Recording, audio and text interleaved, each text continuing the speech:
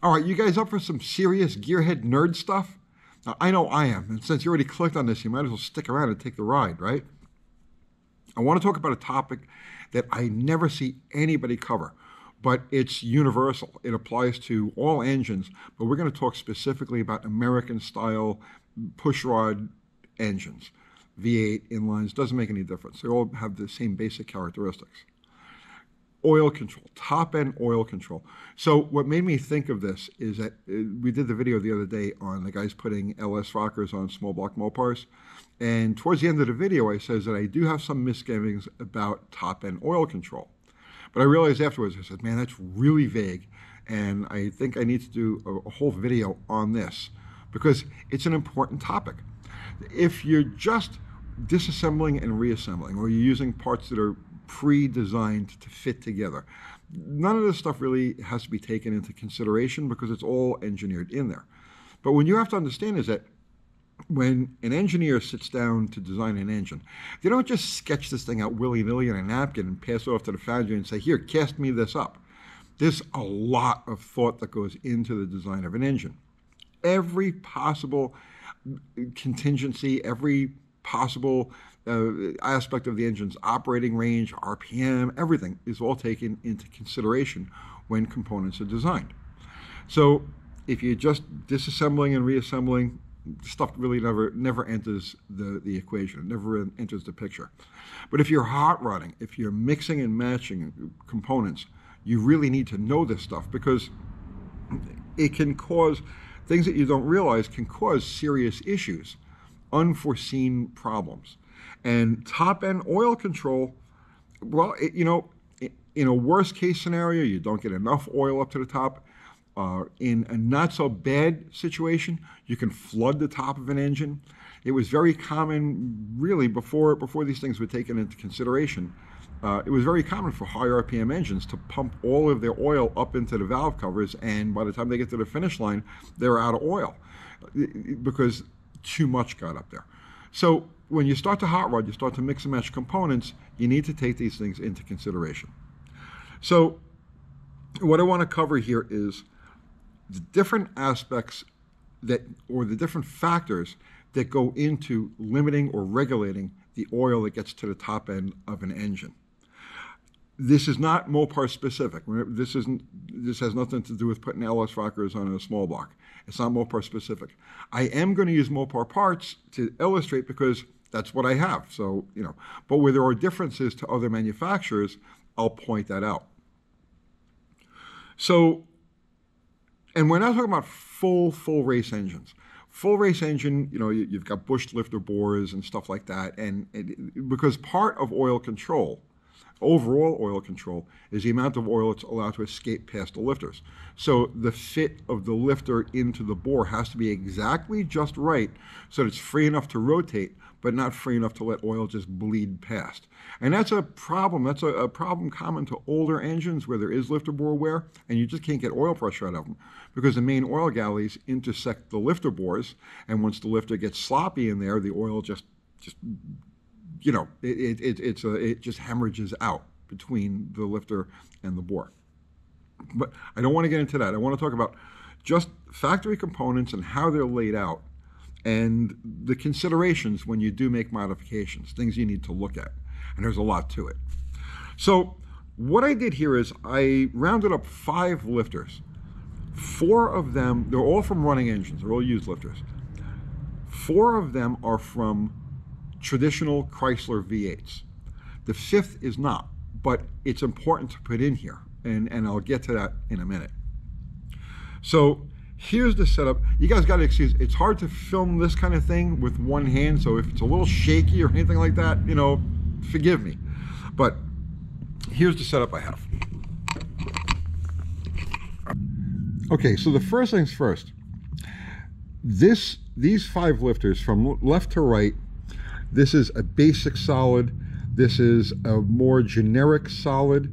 This is a hydraulic, a regular production hydraulic out of a late 70s, early 80s 318. This is an AMC lifter, and this one came out of a Jeep 4.0. And I'm going to get to this in a minute. And then this is out of a Magnum. Now, This tube here represents, and that's why it's important that they all came from the same type of engine. This tube here represents the base circle of the camshaft because on all of the Chrysler small blocks, whether it's a, a, early LA or a Magnum, the relationship between the base circle of the cam and the oil galley is the same. So here's the base circle of the cam. All of these lifters are bottomed out against the base circle. Obviously, I can't do this inside of an engine, but the oil galley intersects right about here when these things are sitting at rest, when they're all sitting on that base circle. So it's just an important visualization. All right. Now, I included these two because this one here has a pretty unique quality, and this one is applicable to certain engines that oil through the push rods. Now remember, these engines, none of these engines, these three, oil through the push rods. These all oil through the rockers. But from left to right, this is the most basic solid lifter you could ever find. It's just a solid block, and this section has been taken out of it, this hourglass section. Now, that was done for two reasons, and there is a benefit to this, an oiling benefit to this. This was cut out of here to lighten the lifter because it's just a solid block here. But also, you have to remember that the oil galley is round, okay? And it intersects, or the lifter, I should say, intersects the oil galley. There is a partial obstruction to the oil galley by the body of the lifter. So by making this hourglass shape like this, not only do you take weight away, but you eliminate any intrusion of the lifter body into the bore. If you're looking for the to send the absolute last molecule of oil through the system, through the through the oil galleys, then this would be the optimum lifter to use. But this type of lifter never has any use in a pushrod oiling style motor. So let's just get this thing out of the way. This lifter is the typical common solid lifter. It shares the same body as the hydraulic lifter, but it's not drilled for oil. Now, if this was, a, and this is on, on a Chrysler, the Chrysler, remember, the, the, the, engine that this lifter would go to oils through the rocker shafts, not the push rods. Now, let's just say this was a Chevrolet that does oil through the push rods. Well, in that case, you would have a hole like this one, someplace in about the same height at the very, very top of the oil galley where the lifter intersects the oil galley. And there would be a hole here and then a matching hole in the push rod cup and that's where your oil would go to. Now, the height and the diameter of this hole is important because the higher it is in relation to the oil galley, the less time it's exposed. So, and okay, we'll get to that in a second. But that's the only difference between a solid lifter from a rocker shaft oiled engine like a Chrysler or a solid lifter like from a pushrod oiled engine like a Chevy. So we've we're good with that. Let's roll this one out of the way. Okay. Now we get to these three. And this is important, all right? Um, this one is from, like I says, a, a late 70s, early 80s 318 production engine. This is an AMC Jeep lifter. This is actually out of a 4.0 Jeep. Now you can see they're just about exactly identical to each other. And here's an important thing to know for you Mopar guys if you order a cam and lifters from like any of the manufacturers over the last, you know, like 15 years or so, when you order lifters, you get these. You don't get these. The main difference between them is that these Chrysler specific lifters don't have provision for pushrod oiling. And so the hole is smaller on this one than it is on this AMC one. And like I said, this is what you get. So now to illustrate the size difference, that's the standard Chrysler V8 with rocker shaft oiling. And here's the feed hole size for the AMC. And you can see the hole is about 25, 30% larger, which means that more overall, more oil volume is going to be able to pass through this lifter. So this hole only has to feed the plunger part of the lifter, but this hole has to feed the plunger part of the lifter and send oil to the top end. Now there's another factor here too, and it's called it's called the pitot valve, And that's what this is. This is a pitot valve. So this sits on top of the plunger inside the lifter, and then this push rod cup sits on top of it. Now, here's something, here's, here's where you can get yourself in a lot of trouble with stuff like this. The pitot valve requires some push rod preload to stay closed. So when it's closed, you can see there's a little tiny notch right here at the top of the pushrod cup. That little notch is the only area that oil is allowed to pass through. Now, the pitot valve makes it oil pressure sensitive. So if there's no resistance on the pitot valve in the form of preload on the push rod, then the pitot valve becomes very oil pressure sensitive and it'll send an abundance of oil to the top. So if you want to hot rod your engine, and let's say you're shooting for zero lash and using this type of lifter, you're going to have a huge amount of volume, more so than is supposed to travel to the top pass through here because the oil pressure will push the pitot valve off its seat on the cup and it's just going to let oil pass through those holes directly to the top end you can you would be amazed. The whole everything looks relatively small here but you would be amazed under pressure how much hot oil you can pass through there. You will see an oil pressure loss at idle. Uh, like for instance if you've got uh, 20,000 25,000 or so preload or you and then you go to zero preload you could see as much as a 5 or 6 pound oil pressure drop just through that action. Because remember this is just one, but you've got 16 of these things going all at the same time.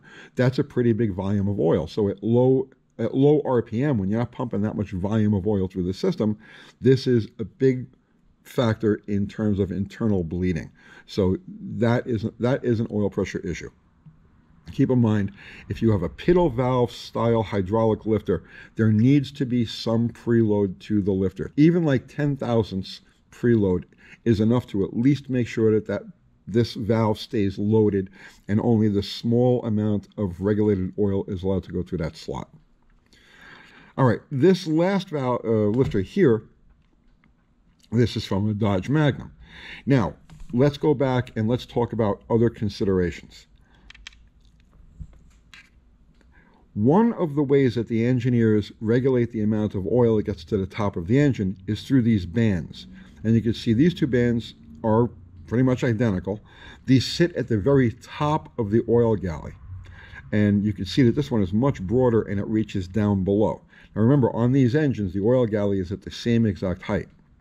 This band goes lower because the engineers want this lifter to receive more oil during its up and down movement. So what's happening here is that when these lifters are sitting on the base circle and this band is at the very, very top of the oil galley, it's getting oil. But as soon as the cam moves off its base circle and the lifter starts to rise, this passage is more or less cut off. So what the engineers want is only oil, direct oil to the to the band, to this feed band, when the lifter is off its base circle. In this case, the engineers wanted a little bit more. They wanted more volume of oil available to the top end or to the, to the lifter and then to the top end of the engine. So they extended the band down a little further. So this lifter has to come further off its base circle before it's cut off. The bottom of the band is cut off. Now, one of the reasons I imagine they did this is because on the Magnum engines, they raised the height of the lifter bore. And so, in other words, like everything else is the same, but they raised the height of the lifter bore. And because of that, you have a remote feed to the top of the lifter. So, from this feed up here, you feed in the plunger underneath and you feed in the rockers up top because Magnum engines oil through the rockers. Here's the interesting thing about this the engineers wanted more wanted the lifter exposed to oil for more of its distance, more of its travel, but restricted the amount of oil that's actually allowed to go to the top end. The hole, the feed hole on this lifter is smaller than this lifter by a significant amount. So the engineers, when they design this one, they want more duration, which is why the band is wider, but they want less overall feed? Crazy stuff to take into consideration. So here's something here's something interesting with this type of lifter. Uh, Harley Davidson. When Harley Davidson uh, designed when they when they engineered the Twinkie in the late 90s, the middle 90s, whenever that whenever that was, they spec'd a Chevrolet roller lifter, roller lifter body and roller assembly for the Twinkie. And since those engines have, have been around, and actually they, they incorporated them into the Sportster around 2000 or so. But for as long as those lifters have been around, guys have been substituting them with Chevrolet lifters, thinking they're exactly the same. But they're not. The Chevy lifter has the same exact body, the same plunger height, the same roller, the same everything, but the holes are a different diameter. Both the hole, the feed hole here, and the hole in the uh, the pushrod cup are different diameters. Now, as it turns out, the happy coincidence is that the Chevy lifter, which is like half or a third the price of the Harley Davidson lifter, actually functions better. So, you know, take that for what it's worth. Um, as far as preload goes, this type of lifter doesn't use a pitot valve.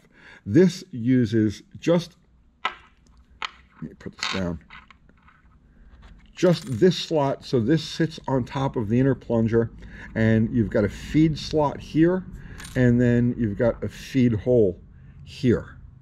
And the amount of oil that's allowed to get through there basically is, is regulated by leakage between the pushrod cup and the body of the lifter.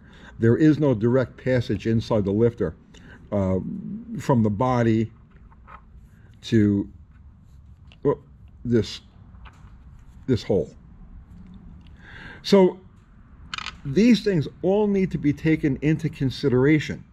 The diameter of the hole, the height of the band, the width of the band, the holes, the type of lifter, the type of valving to the lifter, all of these things need to be taken into consideration.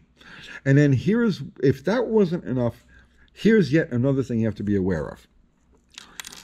So this is this is an LS rocker. All right. So I used this Allen key so so it wouldn't it wouldn't fall out. Okay, but the, these are timed also. So the diameter the diameter of this hole is regulated. That those do vary. The holes in the push rods don't vary. Generally speaking, the holes in the push rods are all pretty much the same. But the feed hole in the top of the rocker isn't. They'll vary these. Now, here's the interesting thing about this. If we take the push rod, we see that there's a direct lineup between the hole in the push rod and the hole in the rocker only in one position. And this position would be with the rocker closed, right, with the valve closed. As soon as the push rod moves up, the oil hole becomes covered. Right? So you see there's no there's no real give here. Once you get to so in this position you've got full oiling through the push rod through that feed hole. But then oh,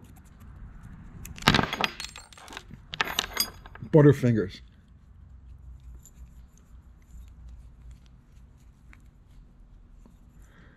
But then when you operate it through its range, you see that the push rod, the hole, becomes covered. And that limits the amount of oil that's allowed to flow when the rocker is in motion.